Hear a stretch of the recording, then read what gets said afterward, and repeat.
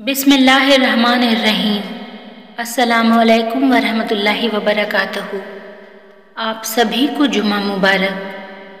अल्लाह ताला आपको इस मुबारक दिन के सदक़े हमेशा अपनी रहमतों के साय में रखे और आपकी तमाम मुश्किलात और परेशानियाँ दूर फरमा दे। आपको बेशुमार खुशियाँ अता फरमाए। आमीन।